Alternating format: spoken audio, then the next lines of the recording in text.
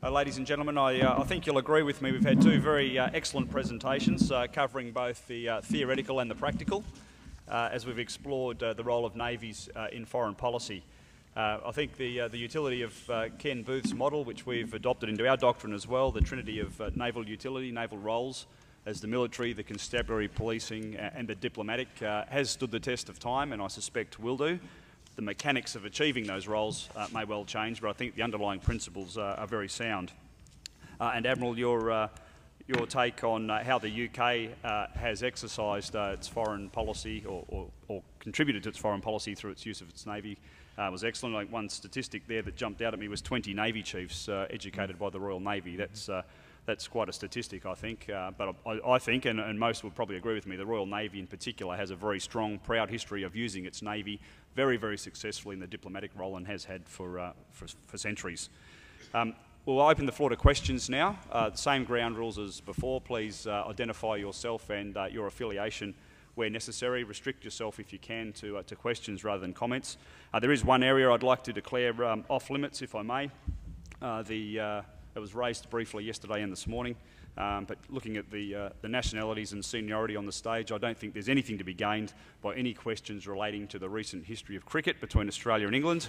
and uh, I suspect even less by predicting what the future summer may hold. So if we could uh, hold fire on those questions, I personally would be very appreciative. Thank you very much. Uh, I'd open the floor now to, uh, to questions to either of our speakers, please. Sir, in the centre there.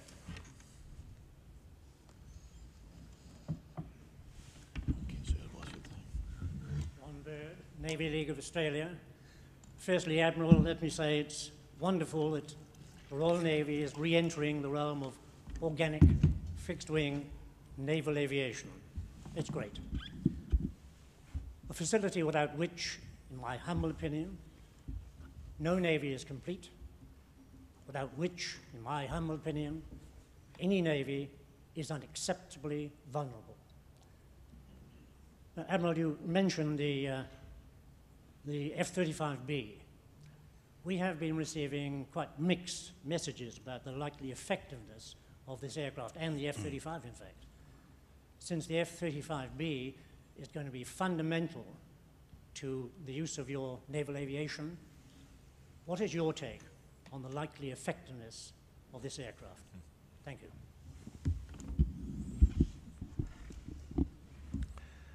Well, as an aviator, I can't tell, I'm, tell you how pleased I am to get that question. Thank you very much. See me later. um, I think I have to answer you in a way which is um, rather fuller than perhaps you expected. First of all, let me just mention the carrier as a platform.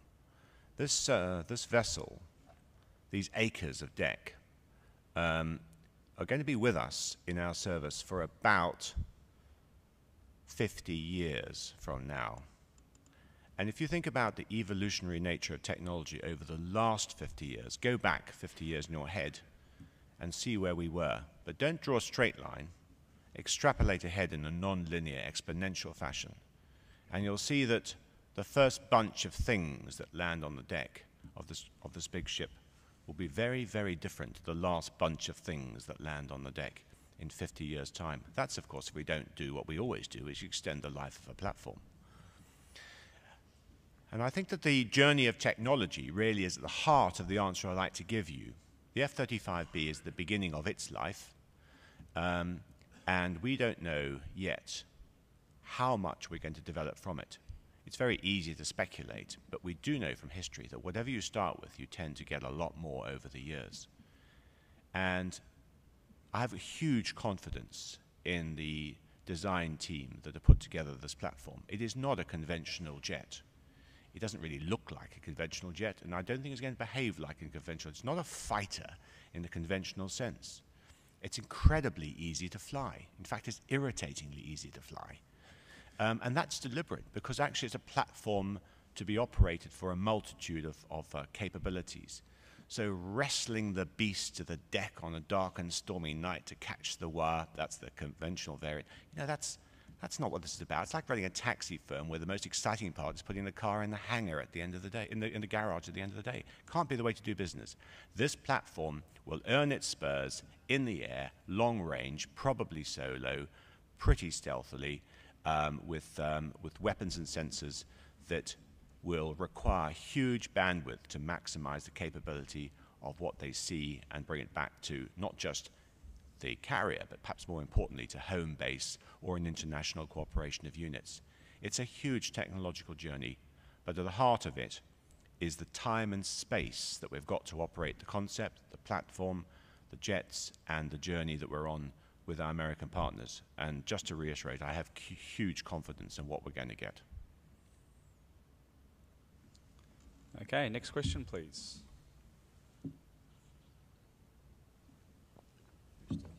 So?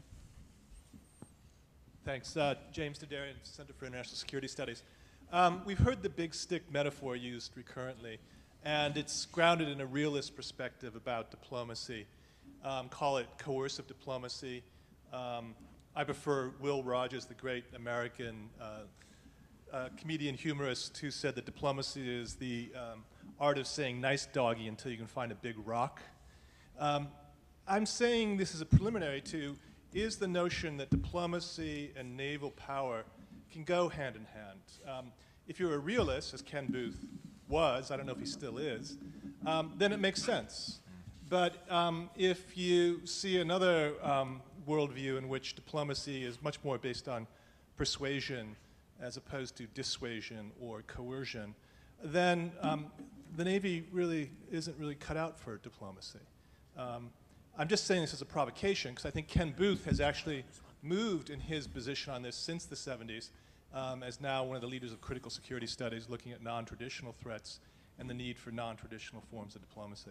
Thank you. Uh, Jim, would you like to take that? Sure. I, I should, I should do, do a minor administrative thing. I didn't mention Mahan during my presentation, and I would hate for him to come down and uh, haunt me tonight, so I can't sleep. So, uh, Mahan. The uh, I'm not. I don't know. Yeah, it's it's. Uh, I'm not really sure. I see the, the the, real disjunction between the coercive and deterrent uses of, of naval power and the, the, persuasive uses of naval power. Uh, I think I tried to lay it, and I mean you're quite right. The Henry Kissinger formula that I used was from a volume from Kissinger in 1962 about nuclear deterrence. So I've definitely, uh, I've definitely expanded up upon uh, what Kissinger said. But to me, it looks like to me it looks like the very much the same thing capability resolve. You basically state, state what you want or what you don't want, uh, display the capabilities, you make good on it, uh, and convince the other side, convince the other side that uh, that you will act on what you say, and then and that what you the capabilities that you use will actually uh, will actually let you follow through on that. Uh, I haven't. I have to admit that I haven't tracked uh, Ken Booth's evolution as a scholar since uh, 1977, when I was 12 years old. Uh, but, but nonetheless, I, that's that's one guy's take on it. In any event, I don't. I don't really see the the, the disjunction between the, uh, the, the realist school and and the more persuasive school of thought.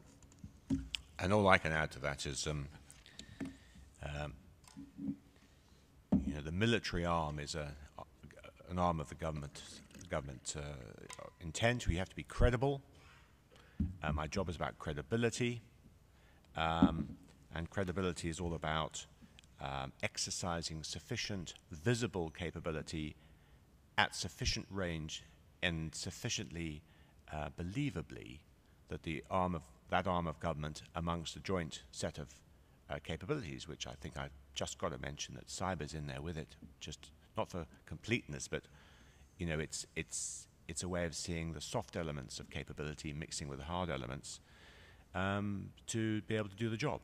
And um, I completely agree with the professor that this is about uh, keeping those options open um, in a very uncertain world uh, on the basis of credibility. So that's my job. Actually, might uh, actually follow the, something the admiral said. Uh, stirred up a thought, always a dangerous thing. But uh, if you think about a specific case in which uh, persuasion works on behalf of the U.S., obviously I'm an American and I spend most of my time uh, studying the United States and East Asia.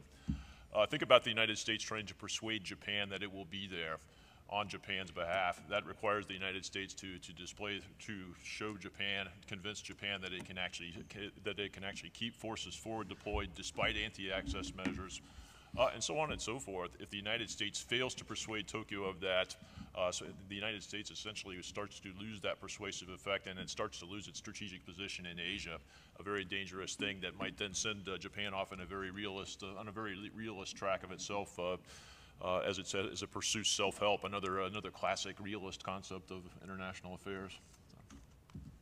Okay, I think we had one uh, on the right up the back there. Yep. Thank you, sir. Captain Glenn Tinsley, 30 years with the Royal Navy and currently directing Navy Reserve Support uh, here in Australia.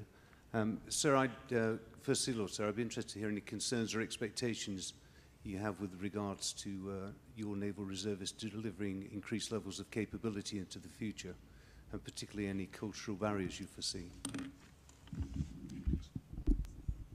Well, I'd say those 30 years were very well spent. Good question. Um, absolutely no concerns at all. I mean, there's all sorts of uh, speculation about the utility of reservists in different forms in different militaries and different services.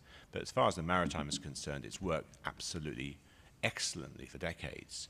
And we're going to continue to invest and sharpen the opportunity. Um, at the heart, though, perhaps of your question, if I can try to read more into it than you've laid out in front of our colleagues, is whether we take, and we will take, reservists seriously and see them as an integrated part of the capability. And that, of course, then brings into focus the question of access to reserves within today's competitive workspace, which is less tolerant of those who need time to train and who then are available for short notice deployments. We can cope with that. We really can. I asked the question of our, my own reserves machine very recently of uh, 2,000 individuals I was looking at uh, in, in specific roles, how many employers were they associated with? And I had no idea of the answer until I got it, and the answer was 1,500. So it's effectively, amazingly, a one-to-one or virtually one-to-one relationship between a reserve and an employer. Many of them are self-employed. So the whole concept of the relationship between uh, availability, time for training, has, has, has, been turned into a slightly more subtle um, partnership, if you like, with the industrial, commercial, employment sector. And that means that we probably need to worry a little bit less about access to reserves and concentrate a bit more about how much more we can get from them.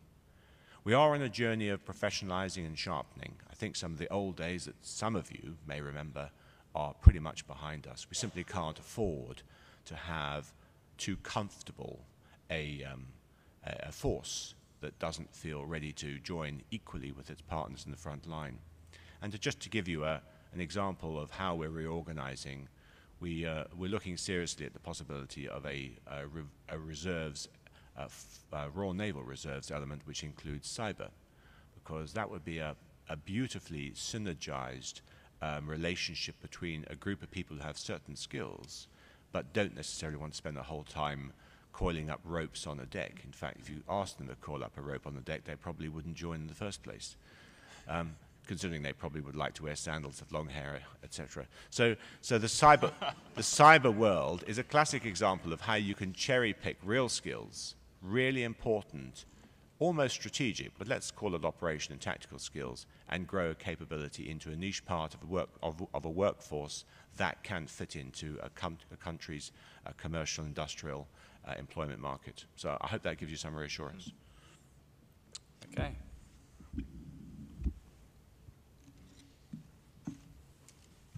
Uh, Jamie.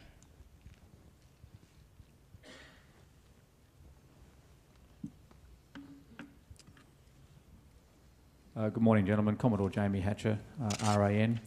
Uh, I'd like to sort of um, tease the issue out with you, please, and get both a US and a British perspective in terms of whether you see a convergence between those arms of government that develop foreign policy and therefore diplomatic frameworks um, compared to the military's role in either supporting those endeavours and whether there's a good or improving mutual understanding between the two.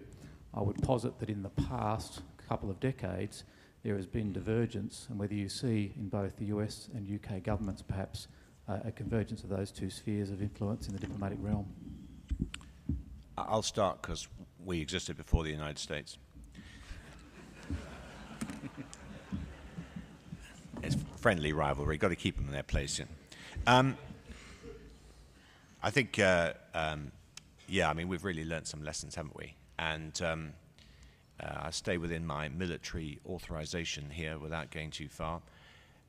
I'm very clear as one of the chiefs of staff who operates within a group that advises the chief of defense staff in the UK that our job is to offer um, military considerations based on capability and skill and persistence to um, the strategic judgments of government, not the other way around. That's what I. That's what my job is. So if your in question implies that you might want to do it the other way around, that's not really the game I'm in, and not, not what my fellow chiefs think. We're here to, to provide um, the best possible range of considerations that, that, that a government may wish to consider. I'm not exactly sure how to come at your question, other than to provide you my own uh, my own impressions. Uh, the U.S. military culture is, has always been very, very much civilian, civilian uh, supremacy over policy, and it's my, it's my, it's my impression that that uh, really persists to this day. Whenever there's uh, something like uh, back in the 2006, the revolt of the generals, or if you want to look back to the 1940s with the revolt of the admirals, this is something that really does not sit well with most with most naval and military officers. Uh, just a couple of tidbits, uh, just from the Naval War College's perspective, that that I think will back up what I say. If you, if you look at our provost, our, our president is a, a, Navy admiral, rear admiral, uh, upper half, uh, and our provost is an ambassador. She was formerly an ambassador in South Asia. So, so I would certainly offer that as a, at least one anecdotal point uh, showing that we do have uh, good civil military uh, integration to a great point. We also get, uh, at the college, we also get uh, State Department representatives on the faculty, also in the students. I had one of my, one of my favorite students uh, last year was a, uh, was a South Asia expert from the State Department. So it's, I don't know, it's, that's not a very rigorous or systematic answer, but, uh, but it's mine. Okay, I'll just check our Twitter feed and see if we've got anything there. So we don't, don't miss them. No? Okay, any more from the audience, please? Sir.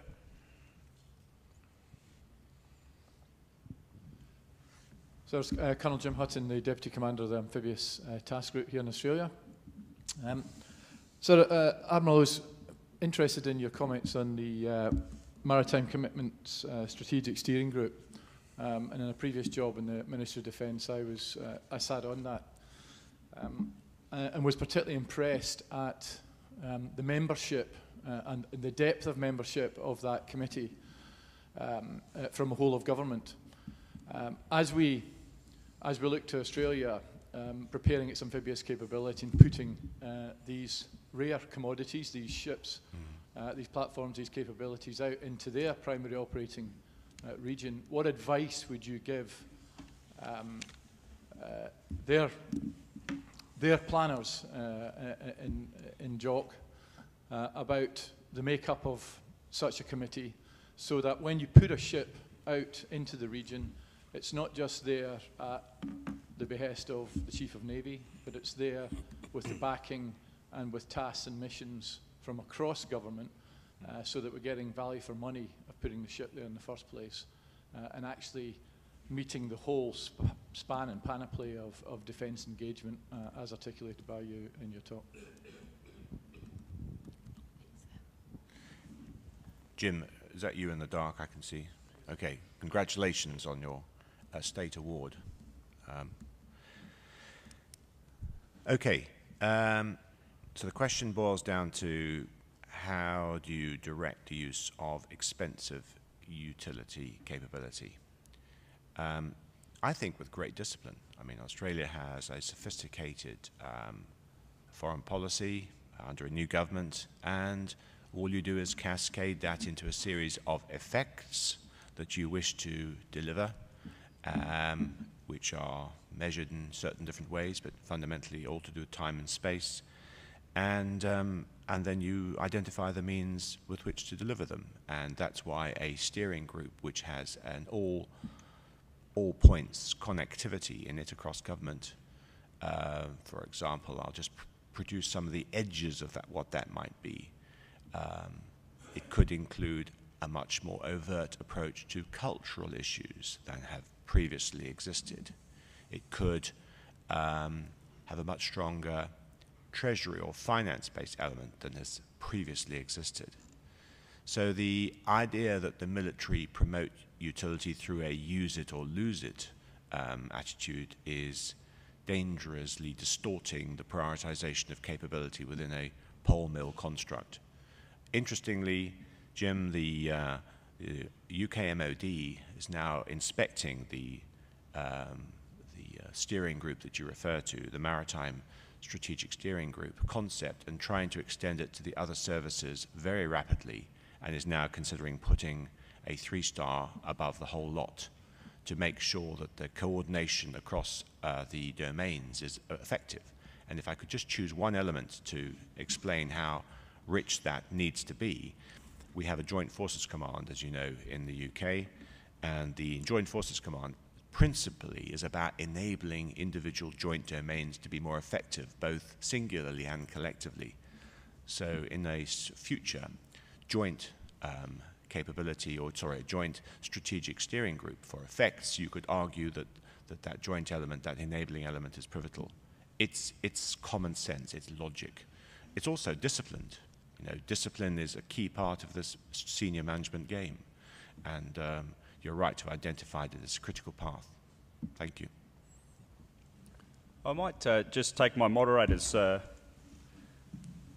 uh, privilege and, uh, and, pose a question, if I can, just to pick up on a thread of the last uh, two questions there, and that's the, uh, the impact of technology uh, on diplomacy. We've heard uh, both presentations touched on the whole of government approach to diplomacy now, of which the, the military and naval aspects in our case are particularly important. But the last 10 to 15 years in particular, I guess we've seen a, a much greater immediacy of the media, uh, I think the internet boom and, and communications being uh, very, very quick, um, both within and without, uh, within and external to governments, uh, has the uh, the advances in communications and IT in particular um, hindered or helped the whole of government approach that uh, most of our nations seek as they move forward with their with their diplomatic initiatives, particularly from a naval perspective. yeah, I'll take a, I'll take a stab at that one. I think that uh, one of the uh, one of the standard works that I usually when I that I usually reach for when I start thinking through such questions is uh, Essence of Decision, written by a, a couple of gentlemen named uh, Phil Zelikow and uh, Graham Allison, who was a an official in the Clinton uh, Defense Department back in the 1990s. It's a, it's, a, it's, a, great book because they take a multiple looks at how the Kennedy administration made decisions during the Cuban Missile Crisis, and one of the one of the uh, the cuts that they take at uh, Kennedy administration's decision making is bureaucratic politics, or what we call what we tend to call whole of government. I, to me, whole of government is a little bit misleading because it suggests that the government is acting as a whole, whereas uh, whereas the, these two gentlemen suggest that uh, where where you stand depends on where you sit. Each individual agency or individual may have, have his own perspectives and push push for certain uh, for certain policy outcomes and so on and so forth. Uh, and also be and also be susceptible to certain uh, certain inputs from social media, uh, pictures on CNN or what what have you. This makes it very hard to get everybody uh, pointing in the same direction. They they they applied the metaphor of vector mechanics. And if mo most of you have a mathematical background, think about vector mechanics. If you have vectors pointing off in all different directions, how do they resolve? They're, they're not likely to resolve in the, in the exact direction that policymakers would like uh, and, and, the magnitude may not be the same, and so on and so forth. So this may, this is a very uh, it's a very wicked problem. Uh, I guess if you, if you, if you made me pick, made me answer uh, yes or no, I would say it's it's probably hurt actually. Uh, and my brief cut on the same subject is that um, if I've tried to promote the discipline of uh, analysis to use military effects across the whole of defence in a way which is uh, genuinely considered in time and space, then frankly the realities of the daily life of decision making, uh, political footwork, and public um, uh, effects on political decision making can upset that dynamic. Whereas it took months for weeks for serious information to reach governments in, the, in 150 years ago, now it's done within seconds, and the government feels, any government feels, it has to react very rapidly to that, and therefore it reaches out across government for any arm that can appear to fix the problem. That's where huge discipline is required in the management of capabilities to provide rapid advice at the level that I operate, but also to ameliorate the effects of doing something for the sake of it. Um, so I'm not really sure that's an entirely good answer to your question, but I've just tried to show how technology um, uh, can easily affect um, behaviors and therefore from that perhaps diplomacy that flows. Uh, thanks, sir. Uh, we do have time for some more questions, if there's one up the back. Neil James from the Australia Defence Association. Uh, my question is to both speakers. In a, in a, in a complex environment where uh, modern communications mean governments are always pressured for here and now decisions, how across the whole of government, not just in the Defence Force, do you get people to think at the grand strategic level for the long term rather than just at the strategic and the strategic policy level, which inevitably has a shorter intellectual horizon? I think you should start. You mean to start? Yes, sir. My, my, my British colleague is ordering me to start. He's keeping me in my place again. No, you just give me a lecture on how the um, on how you guys start, and then we just do your bidding. So you oh yeah, I definitely did that. the, uh, it's a it's a great question, and I think that just coming from a, a, a PME, a professional military education standpoint, I think that the way we try to do it at the, at the War College and other sister institutions in the U.S. and in other uh, in other nations uh, is simply by building in the reflex to reach for reach for bigger uh, sources of guidance. We spend, uh, in, I teach in the strategy and policy department. What we do is, uh, with the first couple of weeks of the class of the class, we spend time with uh, the, the, classic theorists, Clausewitz, Sun Tzu, uh, Mao Zedong. Along the way, we also encounter, encounter the, the, classic maritime theorists. So we try to we try to essentially build these big ideas into uh, into our uh, into our officers and our diplomats and so forth into their language, so that they reach for those sources of guidance when they are when an immediate decision is in fact uh, demanded of them. Uh, so it's certainly when somebody asks me for an, just like you just did, if you ask me for an immediate uh, output, that's what I, that's my lexicon that I reach for, uh, and we try to get our students to do the same thing. Well, I can only really give you the sort of a bit of a UK story, which is um, the answer to your question is the National Security Council. So that's not a sort of a, a body that has to um, muster in a particular room uh, in a formal way. It can be a series of phone calls to bring together the quick uh, response to a crisis. But that then has to sit against what you, I think, very correctly imply are the strategic long term considerations associated with an event that's occurred uh, in, uh, in conjunction with the existing foreign policy ambition for the UK. So that balance, that tension between the established ambition of a government for its, its country's place in the world set against the uh, unfolding circumstances which may either align or destabilize that position are resolved very, very quickly. And interestingly, most of, the, most of the stuff is done almost instinctively. Um, you know, unsurprisingly, very senior levels of government are populated by senior policy advisors, senior civil servants who have a lot of experience in this area, and, and they have the respect of military leaders because it's their job to get this right pretty much first time, and they do. So what we do is we allow that process to develop, and then a subset of that process is the role or not of military capability. Okay.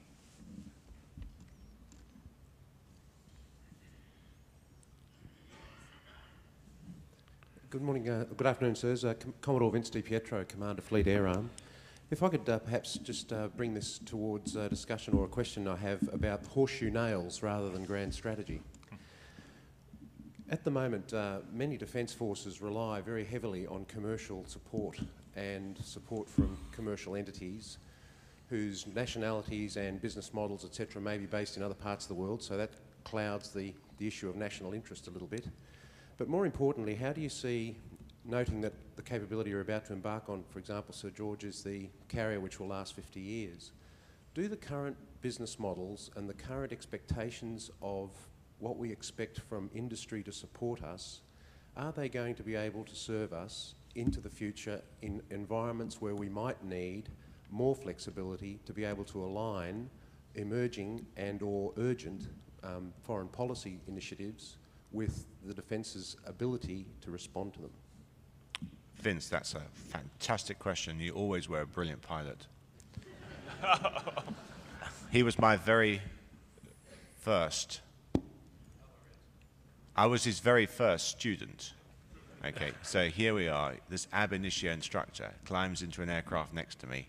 It's a Gazelle Mark something or other, and we're at 705 Squadron in southwest Cornwall in the UK. And I don't think Vince was shaking, but I was, because this is a new instructor. Can you imagine?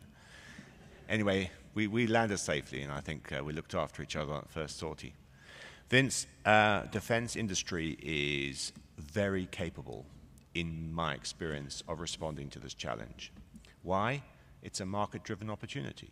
These guys want to make money, they want to make profit, they want to succeed, they want to survive, they will evolve. That's the nature of their trade.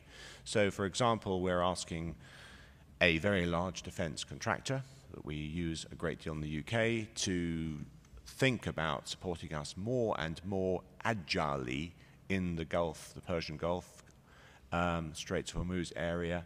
These guys are responding very rapidly because they see, as I implied earlier when I spoke, that the UK is not back. The UK is not keeping its Royal Navy stuck back in the UK. It's, it's, it is an engaged force that has moved forward into certain theatres.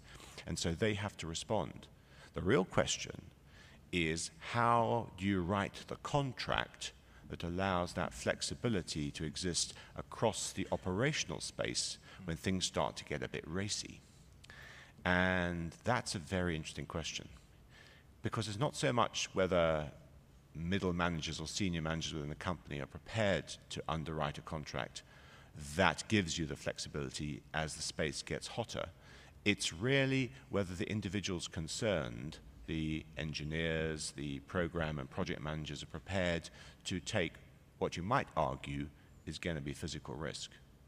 And therefore, you do reach eventually a ceiling to the concept because the contractor who comes on board to fix a component of a phased array radar um, is he's not going to stay with you in the middle of hostilities unless he's paid a great deal of money and his contract allows him to do so because of the duty of care. But the general journey of flexibility of contracting solutions is precisely as you imply, it's getting very much better all the time. I also think that there's um, a more subtle interpretation to the question, which is that the relationship between industry and the military is graying at the edges. This is how it works. The intellectual property rights that made a contractor come and support a particular unit in a particular place for a particular reason mean that that would be a civilian, but it could be in the future that in order to achieve the flexibility you want in the operational space, that that becomes a military guy who's given access to the intellectual property rights as part of the contract with that company to achieve the software knowledge to make the changes which are normally achieved by a visit. In other words, you start to grey the boundaries. That's pretty complex contractual business, but that's how you may end up achieving solutions that give you the best value for money and allow that company to make the best penetration in the market space. So we're right there now, literally right there now, and I think there's a lot more of that to come. Uh, ladies and gentlemen, I think we have time for one more question, if there is. Uh, Eric.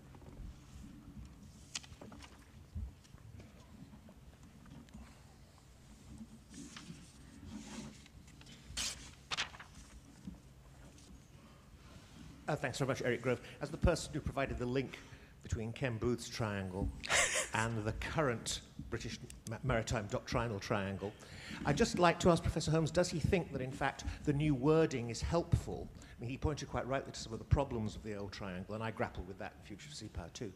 Uh, I tried putting circles, actually, and thought that might help. Uh, I'm not sure it did.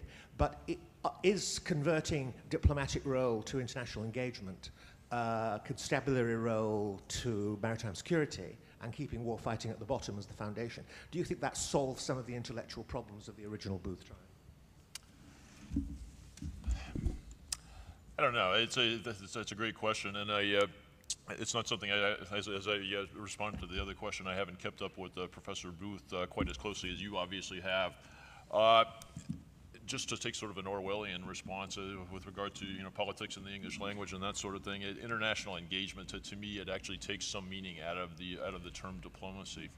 Uh, international engagement sounds like a process, and uh, diplomacy sounds like a, a pro- sounds like something where you send diplomats out, out to uh, negotiate on behalf of their countries. To me, that to me, this, just the word seems it seems a lot more effective in, the, in its older sense than uh, uh, than moving it into something that sounds much more bureaucratic and process oriented. Uh, so I think so. I'm not sure that really would. I'd have to think about it more, but I'm not, I'm not sure. Certainly not at the first blush does it really answer my objections to that.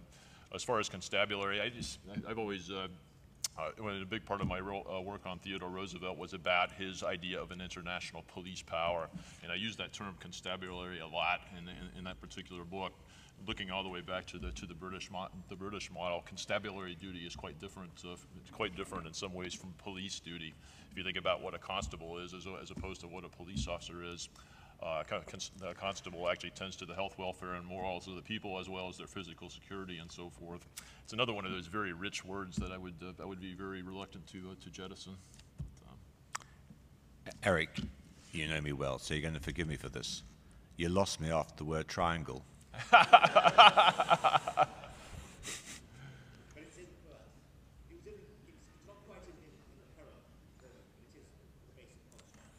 I, I, one thing that struck me, and I didn't put in my paper or in my, in my remarks, that is uh, probably worth uh, worth uh, bringing up, is that Clausewitz actually does the same thing in his idea of a trinity or a holy trinity. Uh, he actually he actually puts uh, rational subordination as one of the poles, uh, one of the poles of a triangle, a Clausewitzian trinity, or as we call it the War, Co- at the War College, a triangle. So he and he in fact he in fact lumps in uh, lumps in the rational decision makers along with the instruments, passions, and all these other things that, that drive nations at war. So uh, by no means is uh, Professor Booth uh, guilty of something that that other that other very well-known people have done as well. Uh, ladies and gentlemen, on that note, uh, I might uh, draw this session to a close. I think you'll agree with me it's been a very fruitful, very fruitful discussion covering uh, a wide range of topics there relating to the role of navies in, in foreign policy, both theoretical and practical. Uh, a great session. Uh, thank you very much for your questions, and I would ask you to please uh, join with me in thanking our two speakers, Professor James Holmes and Admiral Sir George Zambellas.